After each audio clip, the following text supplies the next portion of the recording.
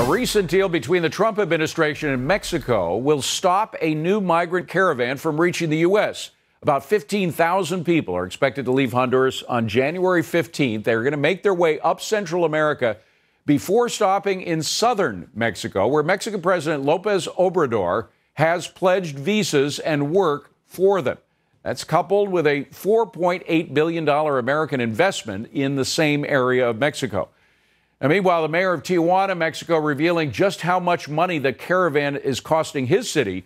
Mayor Juan Manuel Gastelum says the city spends 28,000 US dollars per day on the caravan. The city officials saying there are still over 6,000 migrants hanging out in Tijuana. Joining me now is Steve Rogers, a Trump 2020 Advisory Board member, former Navy Lieutenant Commander, and former FBI Joint Terrorism Task Force member. And your son is a police officer, we should mention. Yes. I don't know if you saw the tape of those police officers in California, the sheriffs from Stanislaus County, putting the blame specifically at the doorstep of those who force their hands to avoid contacting federal agents who could arrest these illegals before they cause trouble. Yes, those politicians making decisions for people that go in harm's way. Let me share something with you. The police officers in this country do a good job. They want to protect us. They're called to protect the innocent, law abiding citizen, not illegal criminals. And this is exactly what's happening. And I've got to tell you, I, I, I saw that mayor from Oakland, California. She should be charged with malfeasance, misfeasance, or obstruction of justice. It's tragic what these Democrat socialists are doing to this country. Now, in addition to everything else, this particular perp, one of the reasons they were able to ID him was he had a, a tattoo that was part of a gang tattoo that helped lead them to track him down. Uh, but when the president mentioned that a lot of the illegals who come across are, are gang members, the Democrats poo pooed him. They said, no, no, no. I mean, he's making a big deal out of this. There are not the, the number of gang members. Here's an example of a gang member who killed a police officer. What more proof do you need? The President of the United States was way ahead of the ball on this for a long time. He said he would make America safe again. He looked at that border as I did when I was on a Joint Terrorism Task Force. What is coming across that border is what is happening right now, as we see with gangs. Worse than that, God forbid that some terrorist cell begins to cross, thinks about crossing that border, and they bring something in here that'll be more tragic than just the death of the one person. The president has already said that there are people in his administration, in, in our intel units, who have spotted terrorists coming across the border. Again, the Democrats say that this is this is all hype. Uh, they're teasing him, uh, making fun of it, and so forth. What are we going to have to do before they will wake up to what's really going on? President Trump talks about national security. That's why he's making these decisions. The Democrats are not talking about national security. They're using this wall situation as yet another means to try to bring him down. Well, it's not going to work because the American people are standing behind their president. By the way, there's a, a, a bad uh, record that was made in 2018, and that is uh, we now have 144 just so far. There are a couple of days left before the end of the year. 144 police officers killed in the line of duty. That's a 12% increase from 2017. Do you think there's any relation between border security and that? I believe there is because you have a lot of these gang members and career criminals crossing the border. But even more so than that, look at some of these illegal immigrants who were arrested before and released.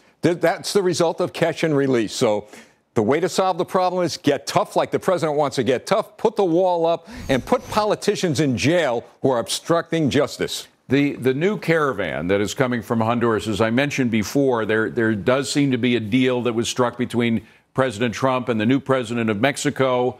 Uh, we give them money. They keep the uh, the caravan members in southern Mexico doing some development projects, whatever it is. I, I, know that area of Mexico. It's a very underdeveloped area, so that if, if the, the money is applied well, it could all work out. However, I also know Mexican officials, yes. and it is very difficult to ensure uh, the kind of honesty and probity that you would need in order to make this work. What, what are your thoughts about Well, I remember the president saying he's not the president of the world, he's president of the United States, and his job is to protect the American people. He'll give them the money. Hopefully, they'll use it uh, the way they should, but his goal is to pre- protect the American people. So, it, even if, it, if it's not on totally on the up and up, it's worth it in order to keep those that caravan down in Mexico well, rather than coming here. I'm sure the people in Texas and Arizona and the border states would agree with you. Yeah, yeah. Now, what's, what do you think about this fight over the border wall itself? Uh, is there any, have you ever seen any indication from Democrats that there's any solution that they have, that they've put forward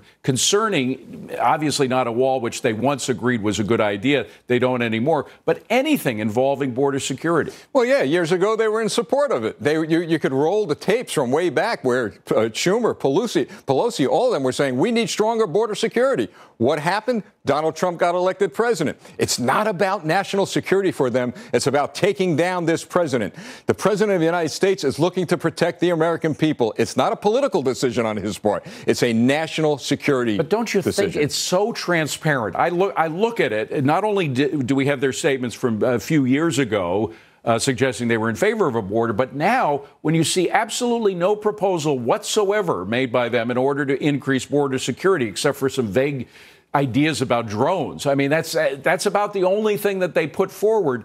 Don't you think American voters will see through that? Oh, you wait until 2020. I can't wait that day comes because there are Democrats who are conservatives who are in favor of what the president's doing. Remember what they did when he ran for office? Donald Trump will never win who's sitting in the White House. We're going to go through that same scenario in 2020, and he's going to win and win big. He mentioned in a tweet uh, this week that, that 2020, one of the biggest election issues he's going to have is border security. Uh, border security, law and order, particularly in light of what happened to that poor police officer in, in California. Uh, don't you think it, it is going to be one of the key issues of his campaign, of his reelection campaign? Major issue because the killing of that police officer and seeing his wife and child, that could be me, that could be you, that could be anyone in that photograph. That hit the heart of not just Republicans, but Democrats, independents. It hit the heart of good, solid American people who are saying this has got to come to an end. But interesting enough, the only person who really wants to put an end to this, sincerely, is President Trump. Steve Rogers, good to see you, my friend. Thank, Thank you. you. very much. Thank Happy you. New Year. Be sure to vote into